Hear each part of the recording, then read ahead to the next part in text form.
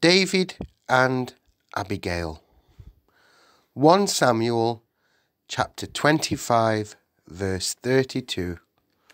And David said to Abigail, Blessed be the Lord, the God of Israel, who sent you to meet me today.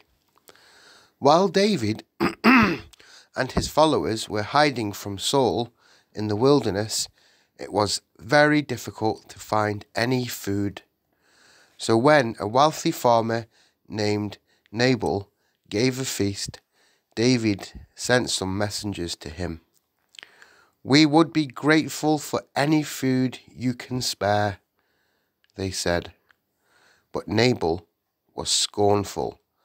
I'll never heard of I've never heard of David and I'm not giving away good food to a group of beggars, he told them.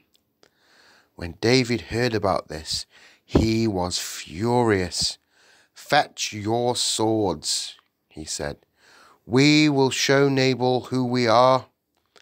But Nabal's wife, Abigail, who was a kind young woman, was distressed by her husband's meanness.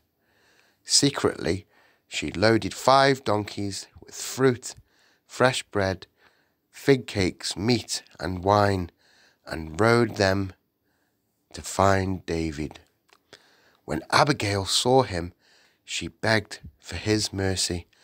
Please don't take revenge because of what my foolish husband said, she pleaded. David promised Abigail that he would leave Nabal unharmed.